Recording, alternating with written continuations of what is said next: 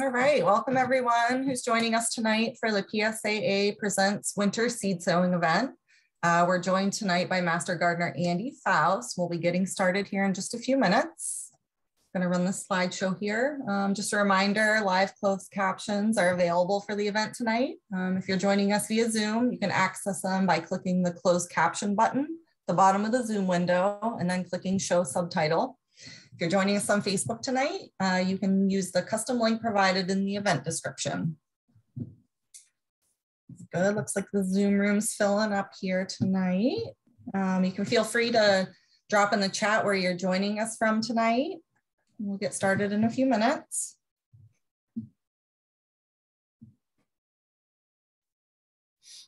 As I mentioned, Andy's going to be walking us, talk to us tonight about the process of winter seed sowing.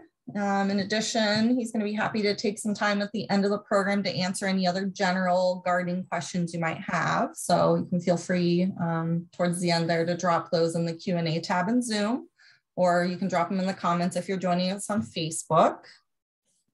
Right, we've got I see Maryland, Vermont, Pittsburgh, Louisiana, Ohio, Connecticut, Tennessee, Buffalo, Valley Forge, another Maryland, California. A lot of people um, interested in some winter seed sowing here. So that's exciting. And like I said, we'll be getting here started here in just a minute.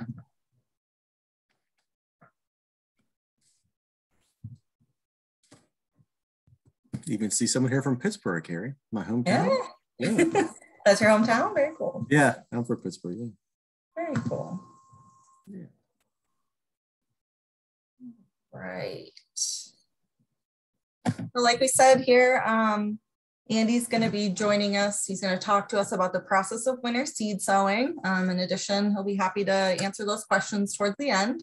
Um, Andy has spent over 17 years in the green industry with various private and public organizations, including Lesco, John Deere, and SiteOne Supply. Um, he currently serves as the Education and Strategy Manager and Master Gardener Coordinator with Penn State Extension. Andy's a 1998 graduate of Penn State, earning a BS in landscape contracting and a minor in agricultural business. He also holds an MBA from the Jack Welch Institute, Management Institute.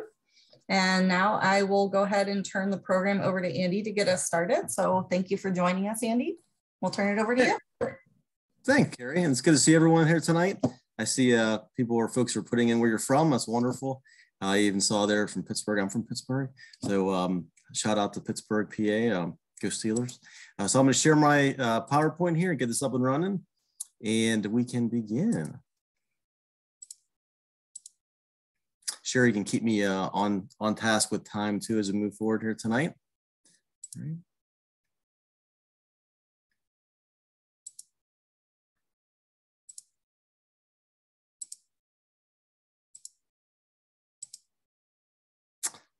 Okay, here we go. Okay, good. Well, good evening, everyone. Once again, uh, on, on behalf of Penn State Extension uh, Master Gardener Program, I'd like to thank you for registering for today's uh, winter sowing event. I'm really excited about this. Um, even have a last year's garden behind me.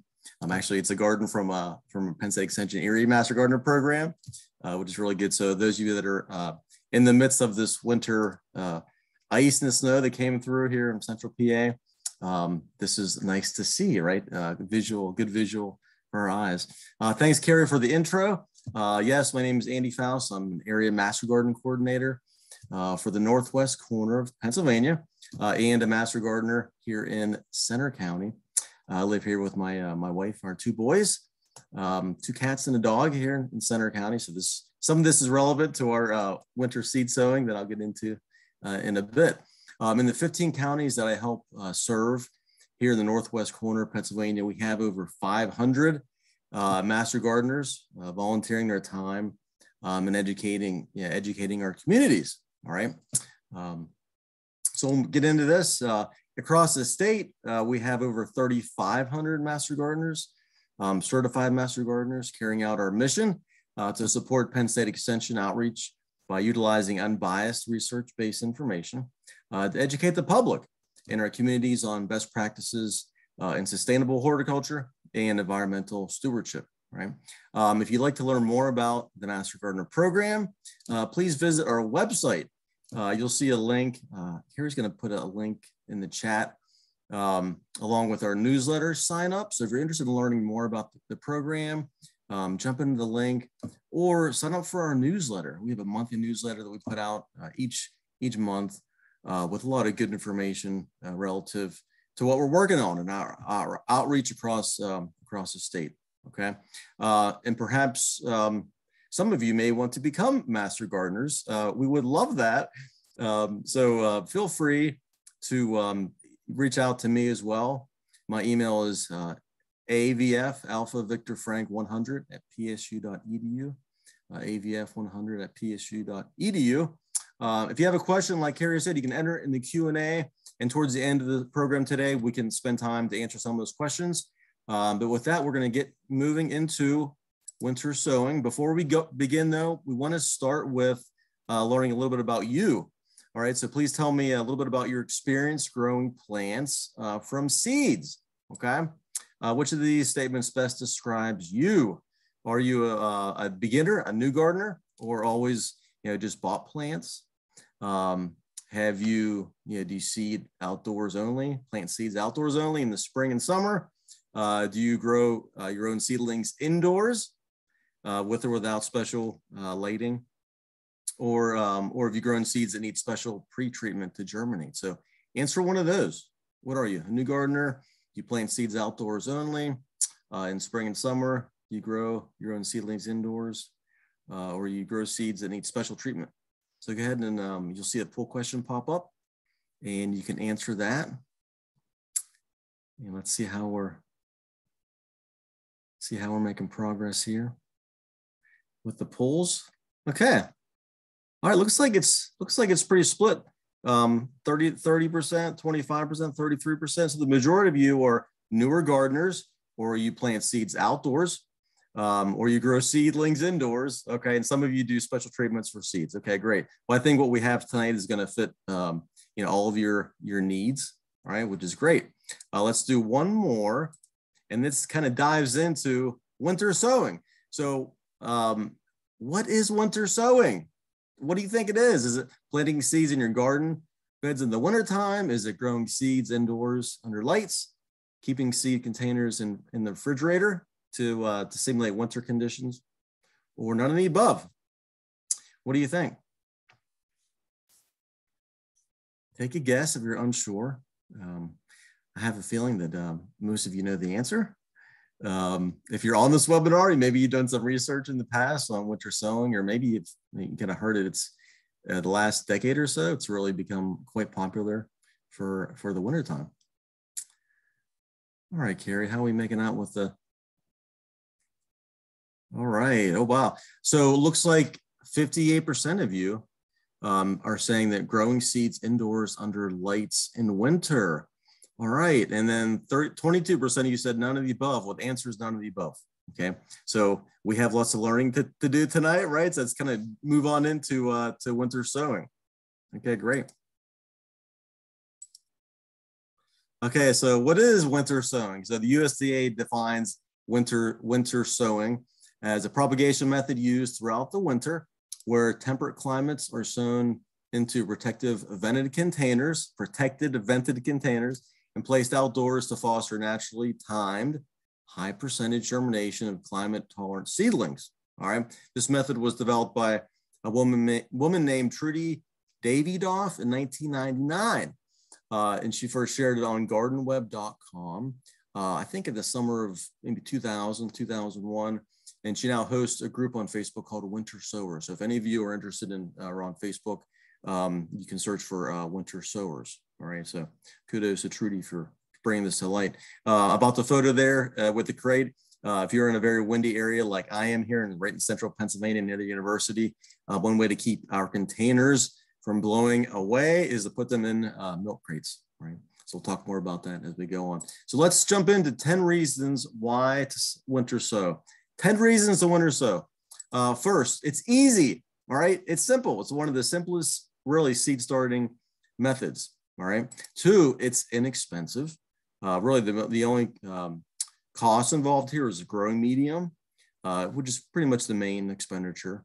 Uh, we have and use any kind of recycled materials for this, aka uh, milk cartons, milk jugs, um, and seeds. Maybe you have seeds already. Maybe you, you have a seed sharing event. Maybe you, you pass some seeds around within the family uh, or purchase them. Okay. Um, number three, it saves indoor space. I don't know about you, but um, here in our house, we have uh, our two boys and a dog and two cats, and we don't have a lot of space. So we have to be mindful of the space we have. So it saves uh, indoor indoor space. And you don't really need number four any kind of special equipment for this. Uh, it doesn't require electrical equipment, lights, uh, refrigeration. Some of you noted that you, you do some specialized uh, lighting for seed starting, and that's fine indoors. Um, it's fun to do, but you don't need lights, refrigeration, um, heat, heating mats to um, to increase the, the soil temperature. Um, that's that's unnecessary for for winter sowing. All right. Number five, seeds are protected, yes, from erosion by wind, um, you know, in extreme conditions, uh, precipitation, and from you know, hungry critters or pests that could be outside. Okay, so uh, protection. Six, it's self-watering most of the time. Okay, and, and most years, I should say, uh, soil remains at ideal moisture levels for germination, which is important uh, generally without, you know, without your assistance, right? Number seven, it eliminates the guesswork, um, you know, over precise timing. So, you know, when do I start putting my seeds out? Well, hmm, the weather looks like this or looks like that. It's all about taking time and eliminating that guesswork, right? So this does, it eliminates the guesswork. Um, seeds germinate when the conditions are favorable for growth of that species, okay? Uh, number eight, it produces healthy, stocky, ready to plant seedlings. Okay, more really more than you more than you will expect usually. Um, disease and, and legginess um, and hardening off of, of seedlings is sometimes challenging, right? Um, they are not concerns when we do winter sowing. Okay, so another another good um, upside. Uh, number nine, it's fun. It really is fun, and I hope tonight uh, you will you will gather that it is really a fun experience. We we make it a family event. We you know get our boys involved. Um, it's fun for gardeners of, of all ages. All right. Uh, so move on to uh, and and I should say last but not least, uh, number ten. Um, it staves off the winter blues. Okay, so we are daydreaming at least here in the East Coast right now. Not for those of you that are West Coast uh, as much, but uh, we're daydreaming about uh, our gardens here. Um, I am right? And so you can start now. Yeah, you don't have to wait. You can start your garden really now. Okay. Um, and as a bonus too, it's it's really flexible. Um, you know, within the definition of uh, of winter sowing is many ways to tailor it to to your needs and what you have available at your own home. All right. Okay. So a couple. Uh, we're going to take a little bit of a deep dive into seed dormancy. All right, and talk about um, seed stratification, and scarification a little bit. This is information it's good for you to, to know. And then we're going to go through some of the supplies needed and, and kind of work through building uh, your winter sowing containers. Okay. So why is winter sowing even necessary? Why not just wait until the warm weather breaks, right? Uh, till we plant. Well, let's talk about a condition that affects many seeds, and you've heard this before, I'm sure. It's called dormancy. Dormancy. So what is what is dormancy? What is dormancy? And dormancy is defined as in simple terms as you know really being in a state of reduced physiological activity right? The seed's in a deep sleep all right? But what does it take to wake it up? What does it take to wake it up? So to take it a little bit deeper um, it's a survival mechanism right? By which seeds can delay germination uh, until the right environmental conditions for seedling growth and development okay? So in other words to survive the seed stays dormant until four four vital conditions uh, take place. Okay, water, light, oxygen, and heat. All right, and these are all at the right levels for germination and su successful growth of the new plant. Okay, and these levels needed can be different for for different species. So just remember that water, light, oxygen, and heat. Okay, now, and but dormancy is also defined as a mechanism that prevents a viable seed from germinating when placed in an ideal environment for germination. Okay, so let's just say these four conditions are right, the seed's healthy, but the seed doesn't sprout. Okay, why?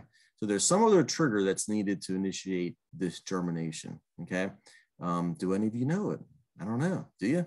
This Dysfunctional dormancy helps spread out the germination of seeds um, over space and time. Okay. So most temperate climate annual flowers and vegetable seeds don't do, don't have really dormancy, um, especially the last part of the, of the, definition. But other temperate plants like woody ornamentals, um, perennials, and, and fruits too, some fruits do have dormant seeds. Okay, so special treatments may be required to break that, that dormancy. All right. Um, scarific, scarific, scarification, sorry, scarification and stratification are two methods to break this dormancy, okay? Scarification and stratification. So we're gonna take a look at those next. All right, seed stratification. Some seeds will not germinate uh, unless they have been moist chilled during the winter, all right? These seeds can simply be planted uh, in a prepared seed bed in the fall or even sprinkled in the snow, okay? But this really isn't sowing in the winter. That's not, that's really sowing in the winter, not winter sowing. All right. But however, the simple method um, does not protect the seeds from being eaten by, by wildlife um, or rodents outside or lost to you know, any type of extreme weather pattern that's moving by. Okay. Uh, so in planting seeds that are expensive, and maybe you have some rare seeds, um, um, you know, passed down from generation. You know, they're, maybe they're rare, they're expensive, or they're valued in some way. Um, germination can be carried out with the process of controlled stratification. Okay, so think about that word stratification. And during stratification, it's important that temperatures are cold and the media is moist. Okay, uh, moisture must get into the seed. The moisture must imbibe the seed for that to take place. Right now, if temperatures are below freezing, seeds don't do not perceive that cold treatment. Right, they don't germinate until the temperatures have been in the right you know range um, for the correct period of time. Um, so placing seeds in the freezer is not, you know, st strictly stratification. Okay. All right, so there's two methods that exist to stratify seeds, and this is good for you to know, um, using the refrigerator um, to simulate, you know, the winter temperature. So uh, first one is seeds can be planted, uh, I say planted in a pot that's been filled with a, a porous medium. Uh, as you can see on the left, uh, usually sand, perlite, or vermiculite uh, covering the seeds with a one, like a half inch or so of medium, um, watering the pot thoroughly and placing it in a plastic bag, right? That's one way uh, that we can start that process, all right, of stratification. Or just put perlite in, uh, in, in seeds uh, in a bag and simply moisten them. Um, and, you know, maybe cut the one side of the bag uh, to drain off any kind of excess water. Okay, now if we do this and put the bag or the pot, you know, in, in the refrigerator for 10 to 12 weeks, um, or the recommended time that the species that calls for um, when the cool period is complete. If you would remove the container from the refrigerator and place in a, in a warmer environment um, that's got light, uh, the seeds will then begin to germinate. Right. The photo on the right uh, is a refrigerator filled with seeds uh, being stratified. Um, you know, you can store you know longer than that 10 to 12 weeks is most of the time if you if you need to but you can check for check for occasionally for signs of germination while they're in there. That does that does take place. All right. So it's important to understand that the stratification uh, process. All right. There's also outdoor stratification. So seeds can be stratified outdoors as well um, in the late fall um, you know in a more controlled manner. Now this is a very controlled environment outside. Uh, you simply direct sow uh, like in a nursery bed area. Uh, you place several inches of moistened sand uh, or mix of a sand and peat uh, across a, a, pot or a flat. Uh, you can place the seeds on top of the medium and then another layer of sand or vermiculite. cover the top of the pot with a hardware cloth um, and secure it with some, some bands to protect the seeds from any kind of rodents. Um, place in a cold frame. This is a cold frame to insulate the seeds from from freezing temperatures, okay? So this is outdoor stratification. You can also do, uh, uh, have window screens, can also be used to protect the seeds from birds. So if you put uh, a flat outside, uh, with some screens over top, you can do that as well to stratify. So while these methods of stratification, you know, may or must be done in the winter, they're, they are not what defines winter sowing. All right. So remember, winter sowing is done. Remember going back to our definition. Winter sowing is done in a protective vented containers. So no refrigerator or cold frame uh, is necessary, right? So that again, that's one of the upsides um, to doing this. All right, we're gonna move on. So you're learning about uh, stratification. Now we're gonna jump into um, scarification, right? What is scarification? So another method used to help break dormancy is scarification. Uh, many seeds have this hard, thick, and like waxy coat, um, you know, on them that resists water. All right. Now, simply making a small uh, nick or a, a, thin spot in that seed or cut in that seed coat uh, allows it to uptake water. Again, imbibing the water, right? And start on the path to germination. This is necessary. All right. Now you can do this with um, with sandpaper. Um, scarification can take place using sandpaper. You can use some folks use uh, like an emery board, a file. Um, I just use a sharp blade um, or a nail uh, just to break that barrier, break that waxy coat barrier. Uh, for the, the lupine seeds on the left in the first photo, um, sandpaper is you know sufficient. Uh, the ripe photo that you see there are bald cypress seeds um, and you would need a metal file to, to really get um, through that waxy coating, all right? But exposing them to extreme um, you know, temperature extremes like, you know, freezing, followed by a plunge in like say very hot water um, can also crack that, that seed coat too, right? So seeds are sometimes uh, scarified with acid. Uh, if, if you never heard of that before, um, sometimes they're scarified with acid and really mimics their passage through uh, an animal's gut which is really interesting. Interesting. Um, there are even seeds that require um, like smoke treatments too, right? So there's there's many different needs depending on the species um, for scarification. Okay, um, and some of these special treatments, um, you know, we can mention further on in the presentation, right? But after scare, scarifying, the seeds are soaked in water until they swell, uh, and then they're planted. All right. So while while scarification uh, may be needed to aid in breaking the dormancy uh, in indoor sowing, it's almost never uh, necessary with winter sowing. Okay, so with winter sowing, you don't have to worry about this, right? It happens naturally. If you're inside, then you would have to be thinking about these things, right? So I'll just say it again. While scarification may be needed to aid in breaking dormancy in indoor sowing, it's almost never necessary uh, with winter sowing. Okay, so remember that. All right, we're going to move on to um, getting started with uh, with winter sowing. So we have to choose some containers. All right, and uh, if you have your supply list, I know you all probably received a, a supply list. Uh, we're going to go through some things, um, and you can you can start to build your winter sowing um, container as we go through it. Um, if we run out of time or going from going a little too fast, don't be. Um, that's okay at the very end, we'll leave a, a fact sheet that kind of goes through what we're talking about. So you still have the steps involved. All right. But the, really the first step in getting started is choosing a container. All right. So the easiest options um, that you see here, um, first thing, um, are milk jugs, right? It's the milk jugs are the classic winter sowing option, right? That's what I that's what I use, and I'll show you what I have uh, here in a little in a little bit uh, milk jugs. All right, it's a classic winter sung option. They work. They work very well. Uh, but it's not the only thing that you can use. All right. Um, some folks like to use uh, soda bottles, right? Two liter soda bottles, right? They're um, and some some people will use the smaller soda bottles too, right? Um, but you want to get at least four inches of soil uh, in the bottom of these containers. Okay, four inches of soil. Um, I've used smaller bottles up to like the what are they, 17 ounce, I think, 17 ounce bottles.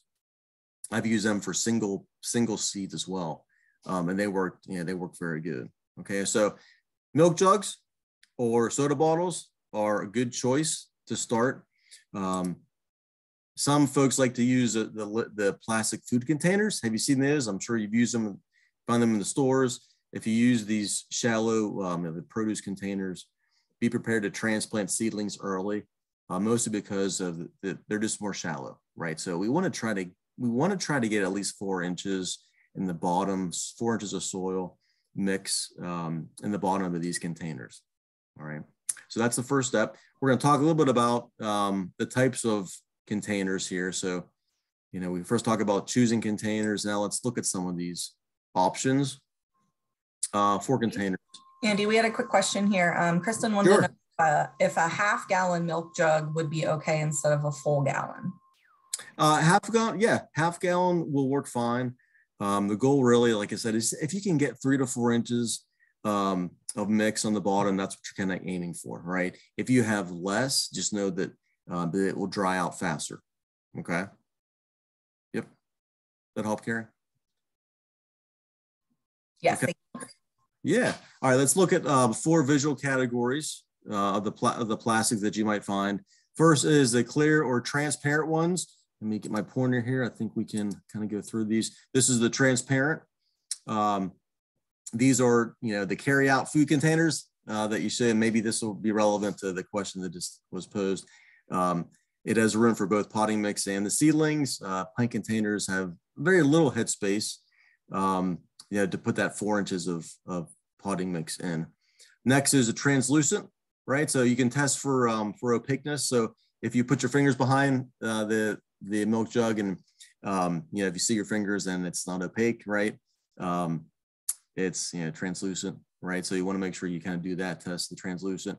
Next are the greens. So going back to these these um, the two liter bottles, these are the greens. Um, they they may be best for shade uh, shade tolerant. Um, you know, I think of this as like similar as being under a tree. All right, you can use some; they will they will work fine. If you have though something that's opaque, um, and they're acceptable, but I would prefer you not use an opaque lid. Right, so if you have a if you have a translucent um, uh, a transparent lid, then you will get more light, which you need that uh, from the top, right? But if you have an opaque one, you can use it. Just make sure the lid is um, you can see through it and it's not opaque. All right. So I will suggest kind of stick with the transparent and the translucent containers um, that will really help you. Okay. So now we're talking about, you know, how we're going to get winter seeding, winter sowing started, the containers, the choices that you can use, um, you know, a couple of different options for you when you do this, when you get started. All right.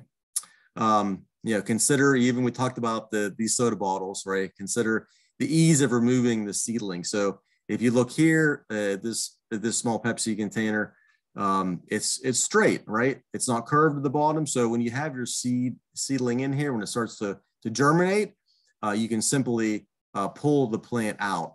If it's uh, you know if it's ha- kind of has the um, the curvature to the bottom, it's a little bit more difficult um, to pull that out, right? So you might find yourself cutting the bottle um, to get to remove the plant.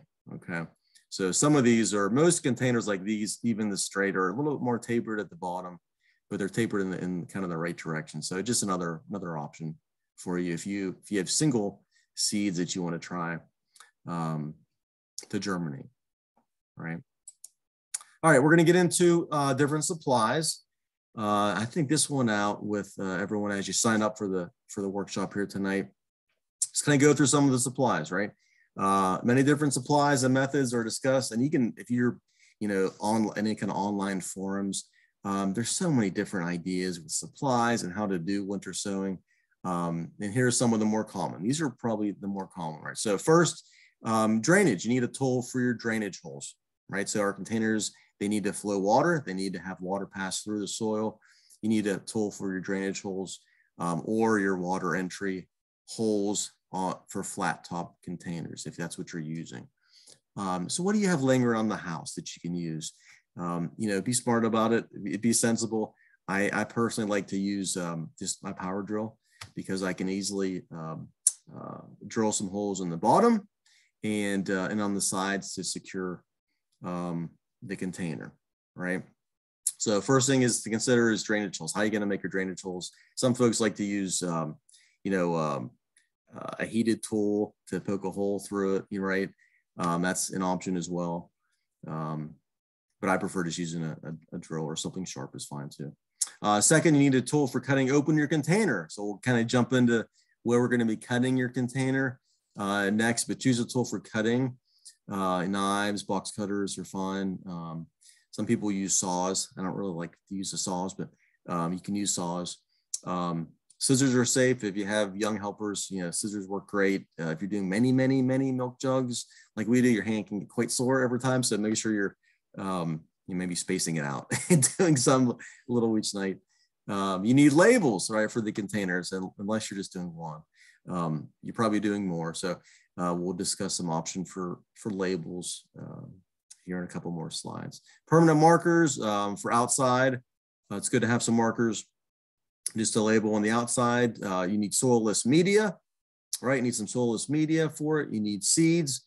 Uh, like again, you're buying seeds or you're swapping seeds.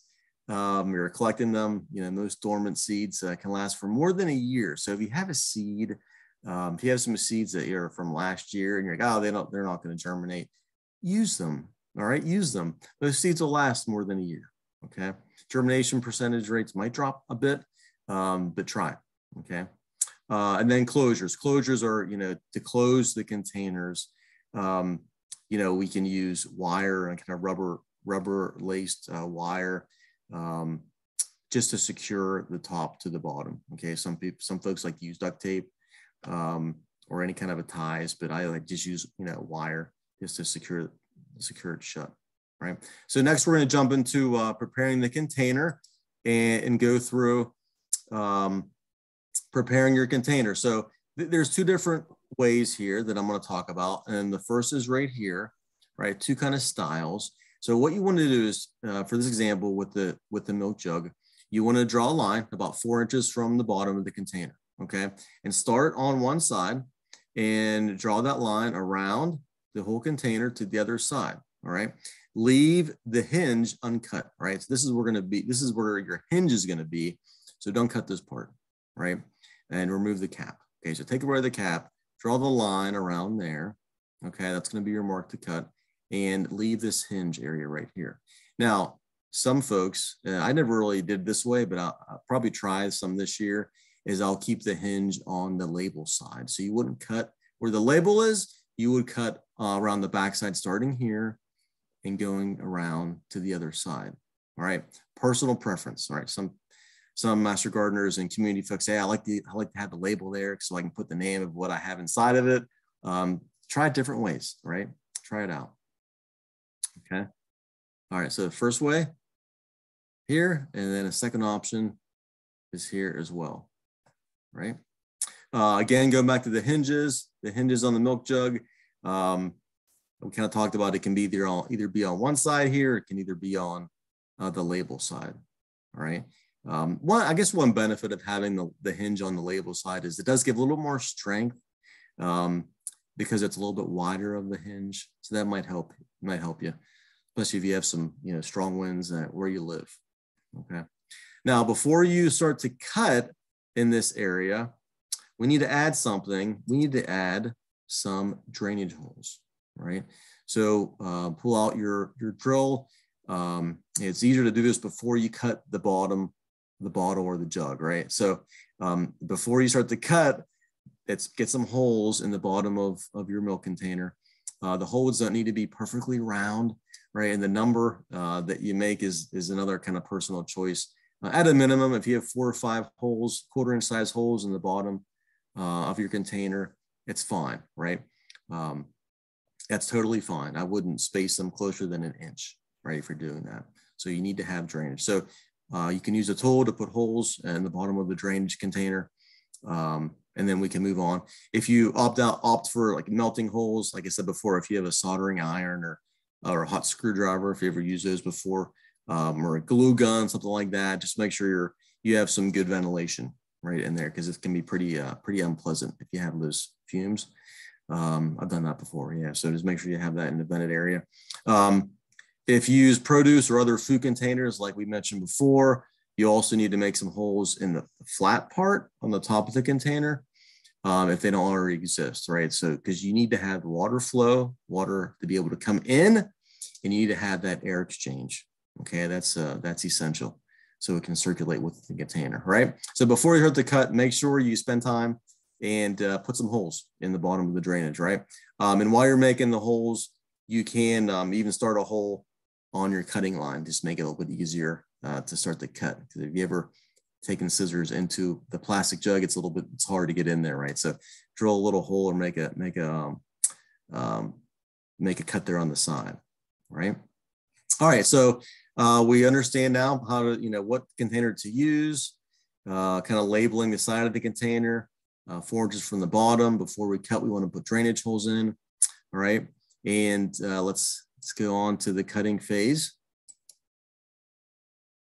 Okay, um, so we want to do is cut the corner or cut the container open, leaving this hinge, which is what we talked about earlier, right? Jugs seem to be made, you know, with a kind of a thinner and thinner plastic each year. So you might find it easier to um, to cut with a heavy pair of scissors, especially um, if you punched a like a starting hole, right? So um, so you can make that cut around and leave the hinge, right? Or you can cut the one side, leaving your hinge on the other side, like we talked about. Okay. So make sure you do that. Andy, we have a quick question here. Um, yes. Yep. To know if the the jug or the container should be sterilized first. Yeah, good question. Wonderful question. You should always uh, rinse, you know, triple rinse your container um, with some water, right, and um, and dry it out first. Uh, I would recommend just to just rinse it and let it dry. Um, I haven't really sterilized them in the past, but um, it's really good to um, to triple rinse. You know, triple rinse that area, get any kind of, get the milk out, whatever you have, and let it sit and dry. Okay, that's okay to do. That's fine. Okay, next, make sure you punch a hole. Uh, this is kind of optional, but um, you can punch a hole in the side of the of the container. Um, that way, you can use uh, help with your your piece of wire for your closure, right? So if you want um, to place a label on the bottom, now is a good time uh, to put a label um, on the container before we fill it with soil. Okay, something something to think about. Um, and if you're following along at home, I'm just going to show you what uh, what it will look like at this point.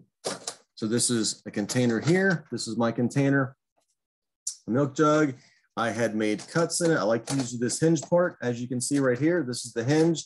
So I cut around the side and I secured it. I had two holes. You can see the holes that I made there, one on top and one below where I cut.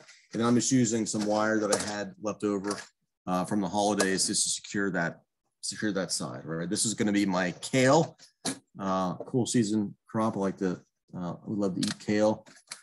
Um, kale sandwiches are really good. So that's what if you're following it along at home and you're at, at this space, this is what um, it should look like. And after you punch that hole in the side, uh, both sides, then you can use your uh, coated wire um, to just secure it. Okay, it can be any kind of wire just to secure. Okay. Okay. Uh, we're going to move on to the next slide, uh, which is soil. So we got to fill the container, right? So we have our container, uh, we have it cut correctly, cut how we want it to do. We have our, our holes, um, drainage holes uh, in the bottom. We have our holes to secure the, the fastener on the side. Now we have to fill. So fill the container with pre-moistened seed starter medium.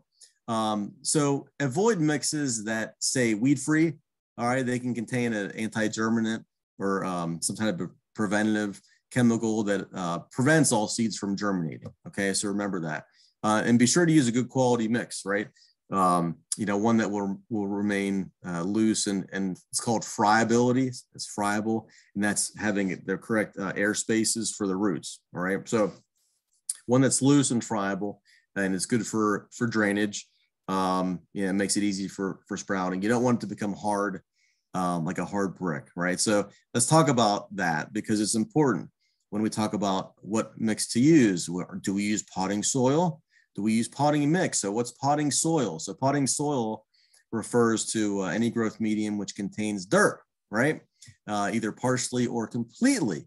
And this easily compacts and be can become very, very waterlogged, right? Potting soil. Uh, now potting mix, however, uh, it's soilless. It's soilless. Soilless media, which has uh, specifically developed to produce, you know, better gardening results for inside containers, four containers. So for this specific purpose, um, it can it may contain perlite, uh, may contain peat moss. Most times, peat moss, peat moss, perlite, um, or or even pine bark. Okay. Uh, now it's at stores you might even see something called seed starting mix, uh, and that can be used. But remember, most brands have um, you know very few nutrients or fertilizers in them, so they're really only meant to be used for a few weeks uh, until the true leaves uh, begin to form. And then it's when it's time to transplant in, into a soilless potting mix, um, since your seedlings will be, you know, sufficiently hardened off, um, then they, they can be planted directly into the final location, right? So it's important just to remember when you're looking for your, your mix, find something that says a potting mix, okay, and not a potting soil, okay? Potting mix, not a, not a potting soil, okay? Uh, and if you use a seed starting mix, just know that um, it's short-lived as far as nutrient value. All right, most of the time. Okay. Um, also, more and more that I've found, uh, you know, mixes as far as potting mixes um, are appearing that have um, that have enough fertilizer added for the entire growing season. So um, you'll see that in, in some um, some brands. Okay, so they're acceptable choices, and you can use them, uh, but not necessary since you should plan um, to do your transplanting while the seedlings are pretty small, right? So at that stage, they don't need a lot of nutrients. It's okay to have some nutrients in there, um, but you may not need that. You need all the nutrients, but they're okay to use. Okay, just so you know that. All right, so we're filling our container with soil. Um, and then next we're gonna, uh, we're, we're gonna add our seed, okay? So, um, you know, add sand, seeds are in different sizes, right? Some seeds are larger, some are smaller. Um, if you're if you're planting, you know, you know, lettuce, for example, lettuce seeds are very small, um, and it's sometimes hard to disperse over the area. So you can just a trick is to mix mix the seeds in with uh, some sand, uh, just to get an even distribution uh, when you're sowing those. Okay, so you can use that to help out. All right. Okay, move on. Um, cover seeds with uh, with a little bit of more of your mix and and mix, right? So don't don't forget to um, uh, to label. So we got to label. We got to make sure you're going to label um, the container as well, right? Um, check the seed packet or online to to really determine if you have a type of seed that um, should be left uncovered, right? Otherwise, a good rule of thumb when you're seeding um, is to cover the seeds no more than four times their diameter, right? So four times rule of thumb, four times, no more than four times their diameter. So, uh, and even if you leave the seeds on the surface, it's okay. Um, most times with the, the winter freeze thaw, um, that will settle the seeds um, down to the appropriate depth. All right, depth. So that's okay. That's okay to do. Um, sow the seeds on top, and you can moisten them. You can spread them with the mist, um, or just know that the freeze thaw cycle, as they become moist, uh, we'll take them down. Okay. And don't forget the label. So uh, if you're like me, you're going to forget what's in your container, especially if you have, you know, 20, 30 uh, containers outside, right? So we're going to talk about, um, you know, how to, what, just some ideas for labeling them. And then we're going to get into choosing, choosing your seeds. All right. Let's jump into, um, spend a few minutes covering labeling ideas. Okay. So here's uh, here's some ideas for you for labeling, and it's important.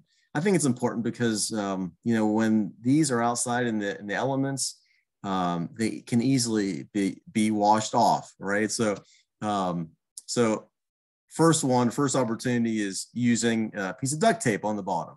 All right, um, you can use duct tape, uh, the, and these are pretty popular. So you can use duct tape on the bottom uh, where the sunlight you know won't won't fade it uh, you can also uh, you can also just you know write around directly on the side, right? So New England aster.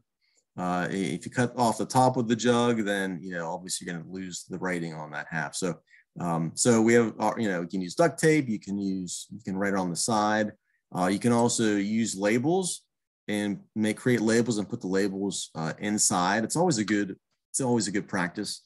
Um, put a label on the inside. Uh, I don't know if you have used vinyl blinds at all or have any old vinyl blinds, but they make great labels. okay, they're very inexpensive because you don't use them anymore. If uh, take some blinds and make some cuts, and um, very inexpensive way to create a label. Uh, you can make hundreds of tags, you know, with this with a simple with a simple blind. Okay, uh, and then you can also use uh, tags, right? So some folks like to use tags if you have a lot of different um, containers. Um, you know, you can just number your tag and then you may have a book inside or uh, on the computer and you can, um, you have it written down. Number 42 is, is my New England Aster. Okay. All right. A couple of things too. Don't use, uh, reg, don't use regular Sharpies for labeling. Um, Sharpies will fade. They will fade pretty quickly actually. So upgrade to an industrial type Sharpie. They are, they do exist. So use an industrial uh, Sharpie it's a good tip because um, uh, it will fade on you, right? Um, or you can use uh, like a paint marker is good too. Um, grease pencil is another idea for, you know, for marking the side of your container. Um, or, or a different marker that's, you know, really made specifically for, for gardening, right? So they, they do exist, but I'd really recommend the industrial Sharpie um, to label your container. Okay, so a couple options there for labeling ideas. Um, for vinyl blinds, for these vinyl blinds, if you have, or using vinyl blinds, you can simply use a pencil. Pencil is sufficient um, and it will last years without fading, believe it or not. So try it and, uh, and you can, uh, you'll find that you probably will like that, uh, that option. All right. Um, so we have our containers, you're labeling things, and now we have to uh, create a closure for it. We got to close it. Right. And there are several options for closing uh, the containers. Uh, we kind of talked about this already, but I just want to you know give you some pictures to look at. Um, I prefer to use uh, the wire. You just use simple wire. You know, rubber coated wire is, is certainly fine um, to use. Um, some people like to use duct tape. It's also an option as you see here. Uh, duct tape on the sides. Some like to use duct tape the whole way around, right? Duct tape the whole way around with using this hinge. Uh, some people like that because it's easier to, if you're, when you're checking it out, it's easier to pick it up. It's more secure using, um, you know, using the duct tape there. Okay. And the third option right here um, is to use, uh, to make vertical cuts, vertical slits in the sides and the, and the top um, and slide the top portion over the bottom, right? So you're making slits in, in the bottle uh, and it slips down over top uh, into the bottom. And this is works good for like symmetrical you know, bottles and um, you can sacrifice the hinge. You're going to sacrifice the hinge basically, but so be careful if you if you do this option and um, you forget that it's actually um, cut and uh, you pull your container up and everything flies, you know, flies out. All right. Um, produce containers nowadays snap together pretty easily you know, the, I, this produce containers that we use at the store and we're buying them, they snap together pretty firm. Um, so that they're really good to use as well.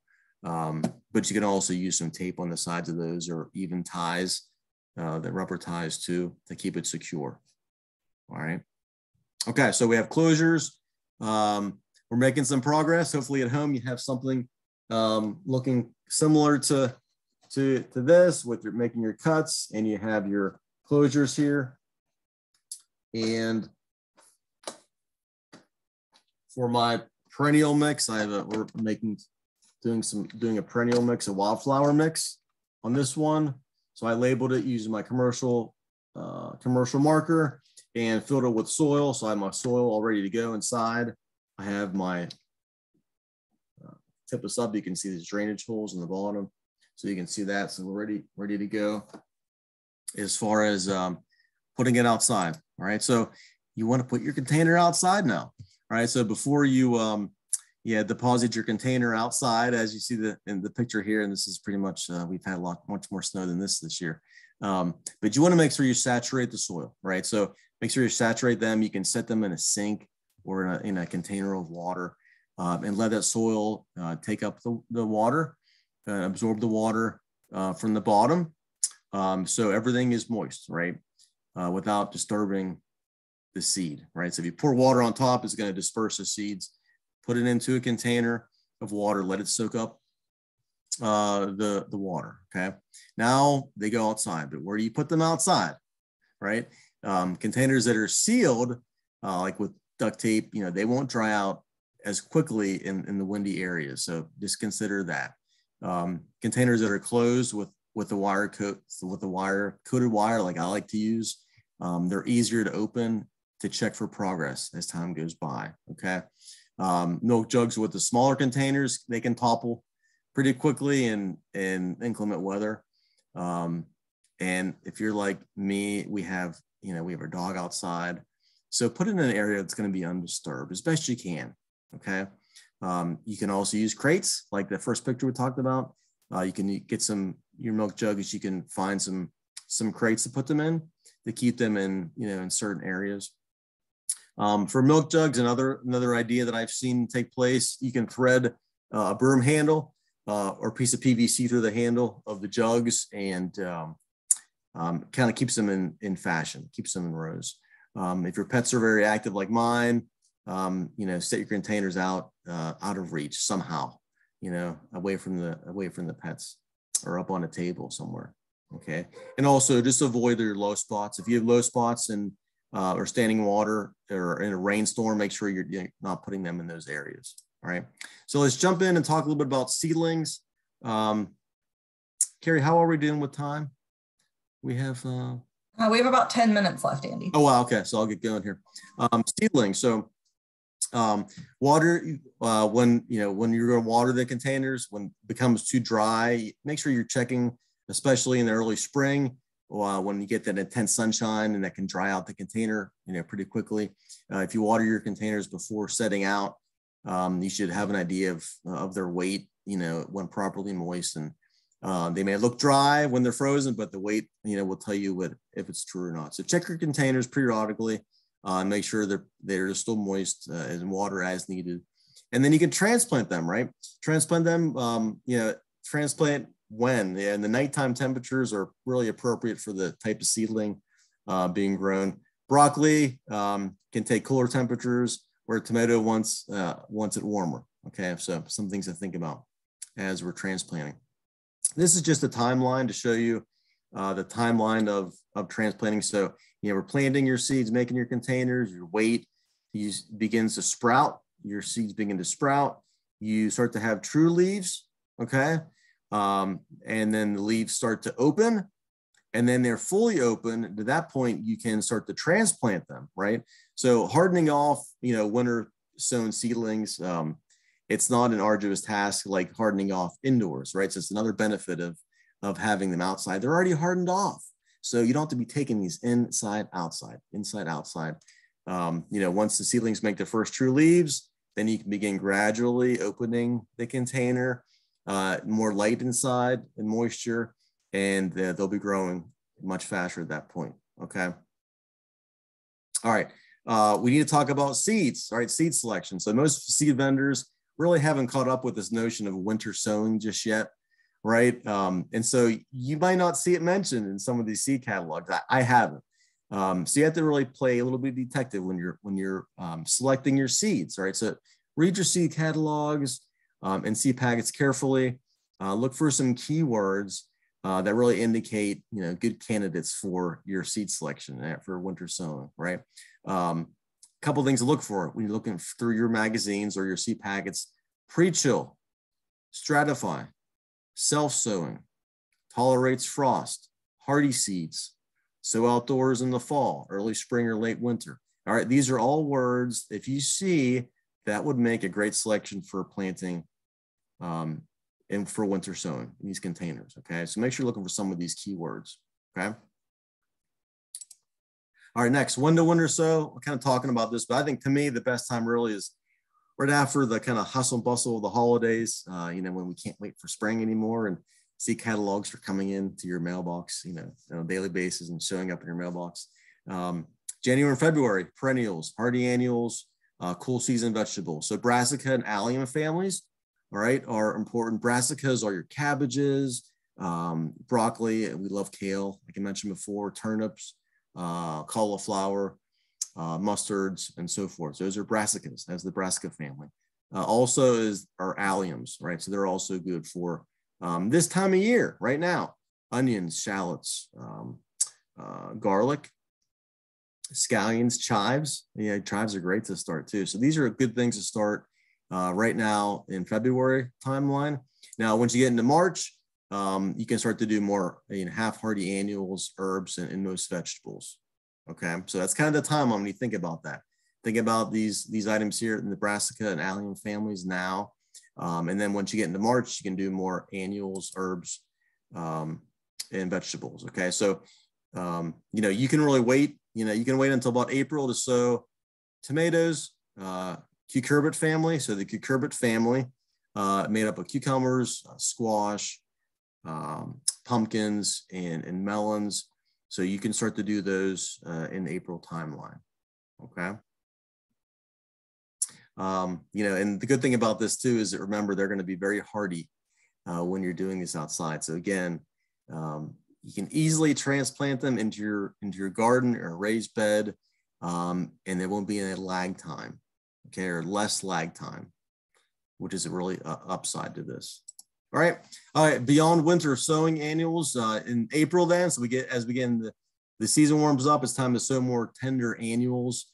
Um, the ones that are native in the warmer zones, um, they're great to do. So you know, Angelonia, Cosmos, um, Dahlias. We have a lot of marigolds petunias, sunflowers, you know, are good to do right in April timeline. Okay, so that's a good time to do that. So you're continuing to do this uh, into the spring time. Uh, what not? What's not advised? So this is not advised for winter sowing. Quick, quick maturing vegetables like radishes. Okay, don't do radishes. Uh, root root vegetables. All right, there's they have a, the tap system. Um, so don't do any kind of root vegetables. Um, seeds that may rot in cool soil like beans or maybe corn, you can stay away from those. Okay. Plants that might bolt quickly in response to rising temperatures. Um, and the seed packets will indicate these. Um, and tropical seeds. Okay. If you try using winter sown containers like in late spring, you can do that, right? For any kind of tropical, tropical seeds. All right. Um, you know, most of all with this, just yeah, experiment with winter sowing. Just, you know, it's it's very enjoyable um, you know, you'll have a wonderful, you know, growing season. Here's some pictures of some of our um, community folks that have tried uh, winter sowing and then they're uh, transplanting into their garden. Um, we have some really good pictures that have come in from master gardeners and community folks about uh, winter winter sowing. So thanks to everyone for sending those in.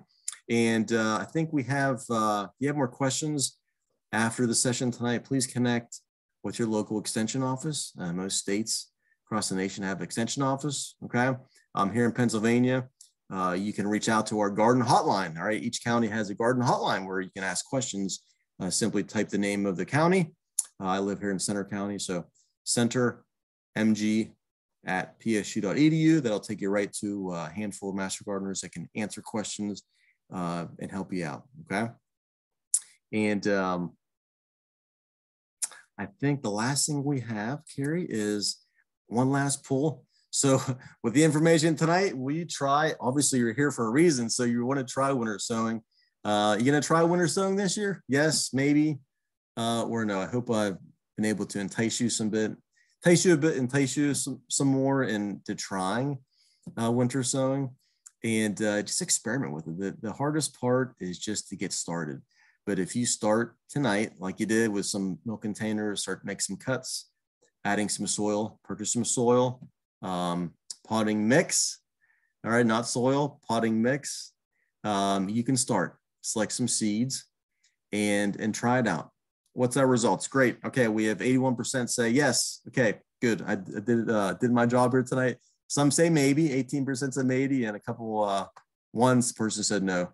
Um, I encourage you to try it. okay, so we have a couple minutes left uh, for questions. Um, I'm going to unshare my screen here. And if you have any questions for Carrie, if there's any any questions that are tough. Yeah, we've got quite a few questions. So I'll start with, um, there are a few kind of specific to um, what you shared here tonight. So uh, Gloria yeah. asked, should the containers be placed away from a building or uh, under an overhang? Um, it's, it's okay to place them uh, under an overhang, but remember, if they're not getting any type of moisture, that's not good, right? So Um, if you have a partially a partial overhang, or if you have an area where um, maybe it's on, um, say, they uh, a western side, western facing, um, that's good. Whether it might be flowing north, you know, west, west or east, um, you need some moisture to get into the container. So not completely over and overhang. That's not what I'd recommend. Uh, but if you could get partially, that's good. You want snowpack or any kind of moisture rain to fall on that container. And Sue wants to know if you have any techniques to help prop the top of the container open as you're um, filling them. Yeah, I. You know what? I um. Do you have an extra hand at home? If you have anyone at home that could help, my son just helps me. But he holds it open and I fill it. Um, they're pretty light the container, so like for this instance, I just grab it up, grab pull the backside on your hinge, uh, just pull it back, and then I just have a small trowel and I'm just loading it in, inside um, as you go forward. So um, that's my technique. It's pretty rudimentary, but it works. All right. And David kind of has just a general gardening question here. He said he sure. read an article that suggested that tree trimming is best undertaken at this time of year. Is this true? And if so, why is this the best time? And does, is this also applicable to bushes and shrubs? Uh, so the, the answer is it all depends on, on the species, right? Um, so most times if you're for woody, woody ornamental plants, um, and even for say um, the, an oak tree or, or maple tree, right? Um, you know, you can you can really prune. The best time to really prune them is is midsummer time, right? After the flower, you have a flowering crab apple. Um, after the flower takes place and the flower drops, um, you can prune those types of plants. Uh, when you're talking about fruit bearing crops, it's different, right? Um, most important part to remember is that there's a cycle involved in plants. And so when plants are growing, they're producing fruit um, and they may start to initialize setting bud for the next season. So if you are into um, late fall, like for right now, most apple orchards on the East Coast are starting to do some, some pruning here in February and, in March. Um, they're waiting too long, then they're going to cut, remove the buds of the plant, right, for the following season. So it really depends on what specifically we're talking about. Um, if you go onto your, the extension website and search for a specific plant um, and pruning maintenance on those, you can find specific timelines for, for what you're talking about, okay? Awesome. And then, yeah, we are kind of running out of time here. So we'll just, uh, one last question here. Um, let's see, Amber wants to um, know if you can comment on seed density when sowing. Seed density. So the, I'm thinking you're you're asking about as far as um, quantity of seed sowing. Um, so that's a good question, and that's what your your question is. That you can you overseed? Yes, right. So if you do plant, um, if you're seeding and maybe you do mix some sand in there, to kind of disperse it, uh, but that doesn't help. You still have a lot of seeds that are germinating. You have to go through and and remove those, right, and and sort them out and break them apart. Um, so yes, you can overseed a certain area, uh, but you need to go back in and separate uh, as time goes on. Okay, so that, that's really important to do, and that's okay. That's that's common, very common. Awesome. Well, it looks like that's about all the time we have. We do have some more questions, so I would maybe just encourage, um, you know, you guys to, to reach out to Andy. I'll include his contact information and a follow-up email after the event. Um, we'll also have some links where you can join the um, their newsletter and, and links to just the Master Gardener website. That's just a wealth of information um, on all things gardening. So Andy, thank you so much for your time today. I hope everybody enjoyed the program and hopefully we'll see you all soon. Good night. Thanks for having me. It's good to see everyone. Thank you.